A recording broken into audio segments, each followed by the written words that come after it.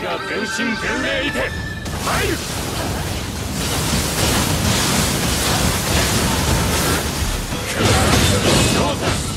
守るばかりでは勝機はつかめるぞ。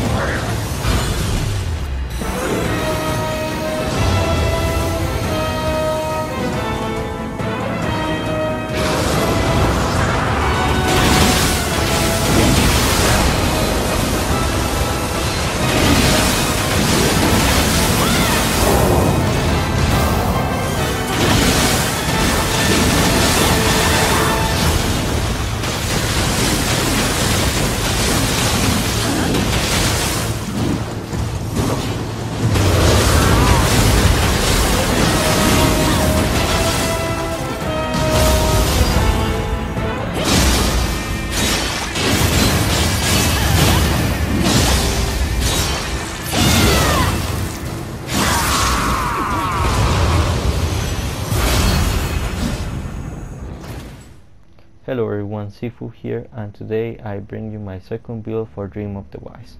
Before I start explaining the build, I would like to thank you everyone because you're showing support to the channel and I started the channel back on April uh, now we are on 100 plus subscribers and I'm really glad for it that you're enjoying my, my content. Thank you very much for your support, I do really appreciate it.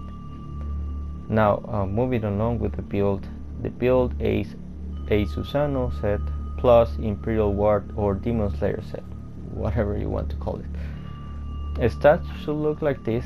Um, I will say that the stat that you should go over 100 in the meantime will be magic, just because we are using ultimate magic. So we can take advantage of both mystic cards for magic and our buffs will endure a little bit more.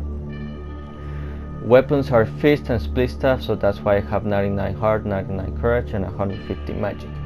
Since the split staff scales from courage and magic, and our fist will scale or it is scaling with heart and magic.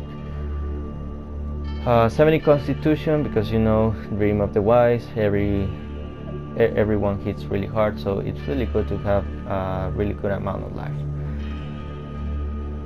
I would say that if you want to go with a second stat over 100 and to reach it to 150, I would say courage. Ultimate courage is really good. It gives us an extra perk, so you can go with ultimate courage and ultimate magic. But overall, uh, with these stats, with the level I'm with, 480, we are smashing every boss. If you if you know how to use the build of course. Because this is a challenging build especially since it has versatility.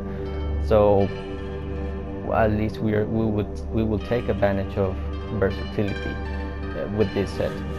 Honestly um, I'm really satisfied with this build. So as I said uh, we are using fist and split staff. Both weapons are in purity. And stats for the weapon for for the fist should look like this Um, as you can see, I use the transform magic, so now our feats will be scaling with magic and heart. So I have attack bonus magic, grapple damage, and the two star effects. Now, um, I would say that if you're going to grind for a really good fists I would say that instead of life drain apti skill, you should go with star grapple damage. So we can do more uh, grapple damage to the enemies. But overall, this is good. So if you would like to keep it like this, or if you would like to change it, you can go ahead and change it. Our split staff um, is impurity as well, as I said.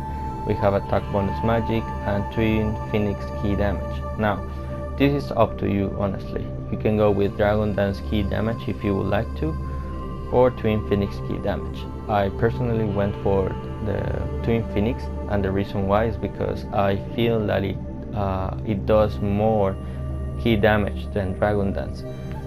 And the good thing is that you can perform a combo because Twin Phoenix it can be divided by three attacks so that's really good. It will be doing uh, more Ki damage. Then you can spam Gozuki and you can obliterate the the boss or any enemy.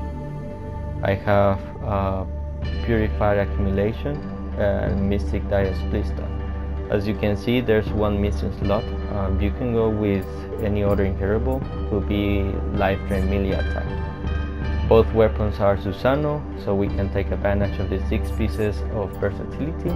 Both ranged weapons are also Susano. And the full set is Imperial Ward or Dragon Slave, whatever you want to call it. Uh, the reason why I went for the Demon Slayer set is because with 6 pieces you get Anima bonus Purified Enemy 8. And with 5 pieces you get Purified Accumulation, accumulation sorry, 50%. So the fifth and the sixth uh, set bonus for me is really attractive, especially the anima bonus purified enemy A. Your enemy will be always purified, so it has a really good income from anima, so you can gain anima fast. I would say that for star effects, you should go with Onmyo Magic Power on every set piece Unfortunately, on my chest piece, I don't have Onmyo Magic Power. I don't know if the chest could have ninjutsu, star ninjutsu power or Onmyo Magic Power, but I wasn't able to get it. The helmet is really good. As you saw, I have increased attack with the enemy, anima charge melee attack, and Onmyo Magic Power. In my chest, I have star apti skill damage However, the ideal thing is to go with elemental weapon damage because we are using purification talisman.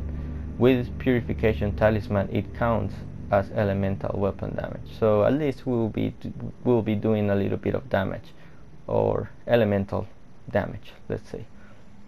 Ideal will be a star a star Onmyo magic power and a star elemental weapon damage. But uh, as we all know, Dream of the Wise grind is a little bit uh, tedious so I'm fine with that.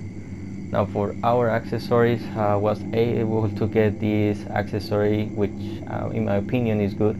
It has melee damage versus purified enemy 19.8% and extended curse nullification which it will help us a lot when we grapple our enemies and we eliminate the curse the wise curse effect as you can see my Yasakani does not have a grace um, but the reason why I went for this one is because of the melee damage versus purified enemy.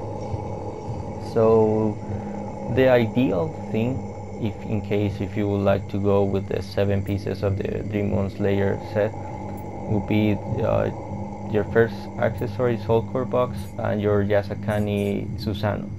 So you can take advantage of the counter tactics uh, Yokai A or if you don't want to go with the full set of the Demon Slayer you can go with the full set of Susano which unlocks the Mystic Dial O which unlocks the Mystic cards for both weapons all of them so and with that you can reduce the space uh, by taking out the Mystic Dia Fist or Mystic Dia Split Staff or whatever weapon you would like to go with. But as you can see even though the Yasakani is divine I still have the set requirement so um, I'm fine with it. But overall um, even I have a lock build.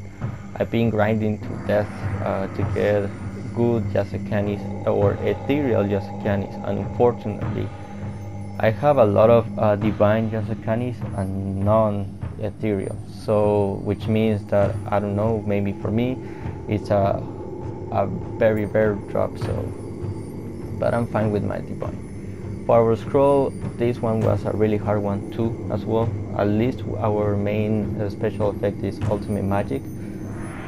And the rest uh, is a decent, a decent effect I would say. I spent over 2000 instance night to get good read rolls on the scroll but unfortunately I wasn't getting the things I wanted so I went for these ones and I believe that they're not bad.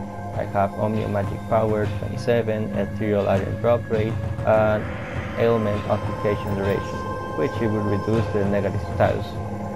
For Onmyo, I went for Protection, Steel, I have quick Change, I have Purification, I have Barrier, and for the first time I, I didn't go with Art Yokai, instead I went for Water Familiar.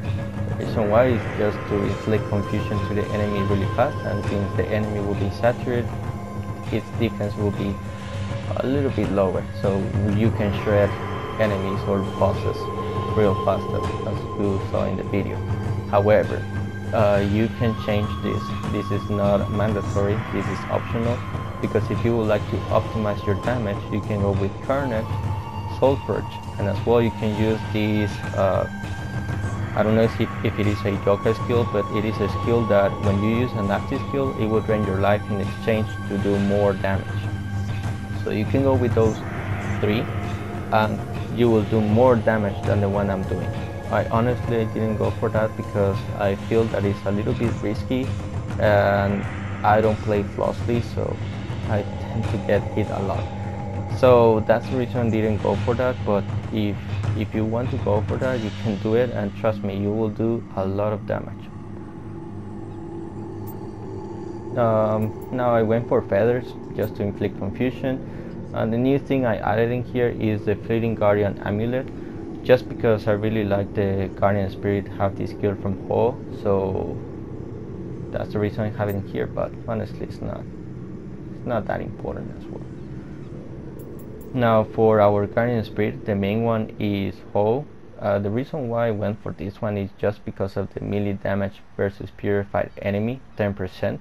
So with our both accessories and with Ho, we are over, not over, but almost hitting the 50% melee damage versus purified enemy, which is something really good because let's say that, well, this is a purified purify build so you're always going to purify your enemy or your enemy will be always purified. So you'll be doing a lot of melee damage.